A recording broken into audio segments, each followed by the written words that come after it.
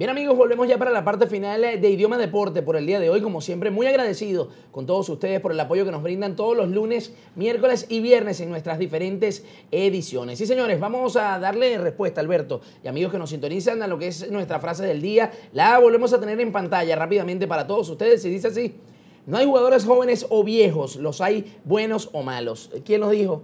Eh, fue la opción número 4, Santiago Bernabéu. Don Santiago Bernabéu, sin duda alguna, un hito en lo que es eh, la historia del cuadro del Real Madrid, del fútbol europeo en general. Uno de los mejores eh, jugadores que haya vestido la casaca merengue, como lo es Don Santiago Bernabéu, y en honor a su persona, el estadio del Real Madrid lleva su nombre. Honor a quien honor merece y definitivamente Santiago Bernabéu marcó historia en lo que fue el fútbol español. Bueno, y siguiendo esta línea de la respuesta de la semana, tenemos que pasamos a un nuevo deporte y es el fútbol. Vamos a hablarles del fútbol nacional venezolano del torneo clausura y les presentamos lo que es la tabla de posiciones del el fútbol nacional.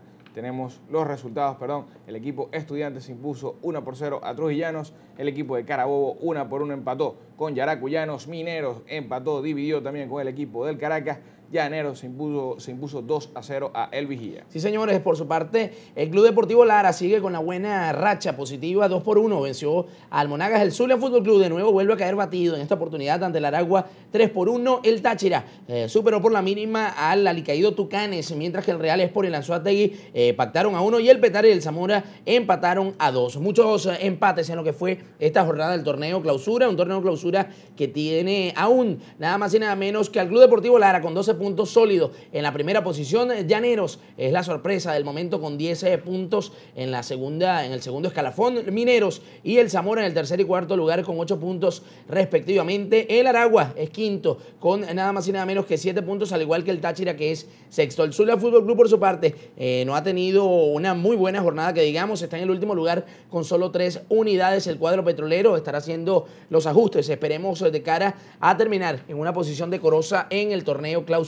Mismo deporte, diferente latitud y nos trasladamos al, al antiguo continente, al continente europeo y al fútbol español, donde tenemos los resultados de la Liga Española. Efectivamente, ayer eh, en lo que fue culminando la jornada del día domingo, tenemos que el eh, Real Madrid eh, superó con score nada más y nada menos que de 4 por 2 al elenco del Levante. Aquí estamos viendo parte de las acciones de este encuentro. Se iba arriba el Levante en las primeras de cambio. Veíamos el centro de Javier Farinós y de esta manera el golazo para el cuadro levantino que prendía las alarmas en el Santiago Bernabéu. Luego un penal, una mano sumamente evidente.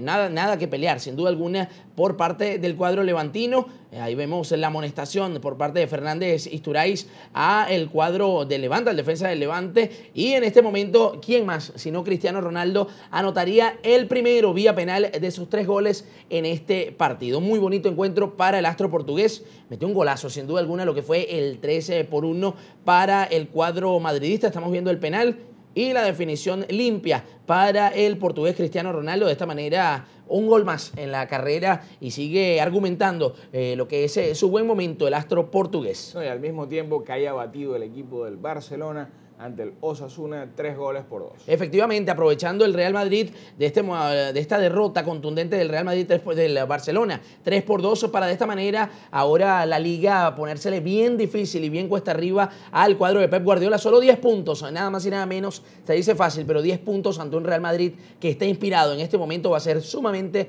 difícil y cuesta arriba para el cuadro catalán poder alcanzar al equipo merengue. Se va, se va a hablar mucho del formato de la liga española porque muchas personas dicen que no es posible que un equipo que no ha podido ganarle directamente al otro, esté por encima de él y vaya a ser el campeón de la Liga, Edwin. ¿Qué opinas tú de eso? Sí, sin duda alguna que el fútbol, eh, como todo en la vida, es muy voluble, es muy variable y creo que el cuadro catalán, si bien es cierto, no se puede eh, sacar de carrera, todos sabemos el nivel y el potencial del Fútbol Club Barcelona, eh, pudiera estar acercando o estrechando un poco lo que es este margen de 10 puntos hasta el momento que posee su más cercano rival como lo es el Real Madrid. Vamos a pasar también a lo que es en torno al fútbol. Tenemos que el Málaga ayer de la mano de Salomón Rondón derrotó 3 por 1 al Mallorca, también el Rayo Vallecano 2 por 0 al Getafe en el duelo de la comunidad madrileña. El Valencia eh, dio una victoria 4 por 0 contundente ante el Gijón. El Villarreal 3 por 1 ante el Granada y como les comentábamos, el Real Madrid 4 por 2 al Levante. Hoy cierra la jornada en la Liga Española en la Real Sociedad ante el Sevilla. También tenemos en el fútbol alemán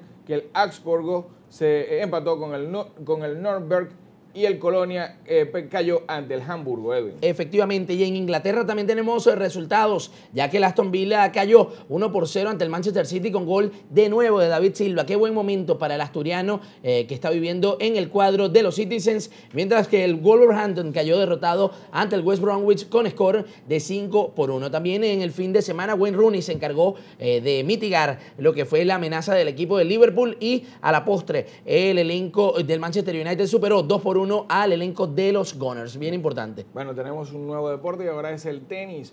Y es que el equipo de Venezuela para Copa Davis ya tiene su rival que es el equipo de la República Dominicana. Sí, señores, efectivamente, durante el fin de semana Venezuela superó 3 por 0 a Puerto Rico para seguir avanzando en la clasificación del Grupo 2 por la zona americana en eh, cuanto a la Copa Davis se refiere. Ahora estará esperando a lo que será el mes de abril cuando eh, visite eh, lo que es el equipo de la República Dominicana a nuestro país para de esta manera seguir en la lucha por alcanzar lo que es el Grupo 1 de la zona americana, Grupo Mundial, efectivamente. Víctor Estrella se impuso en 13 sets al boliviano Federico Ceballos para de esta manera la República Dominicana obtener lo que es eh, el eh, pase a la siguiente ronda en la Copa Davis. Bueno, y desde Idioma Deportes le enviamos nuestro apoyo y nuestro abrazo a la vino tinto del tenis. Por supuesto que sí, ese gran equipo encabezado por nuestro amigo Willy Campos, eh, un capitán de lo que es el equipo de Copa Davis. Amigos, nosotros nos vamos a despedir por el día de hoy, momento ya para la despedida. Recuerden, por supuesto, que este programa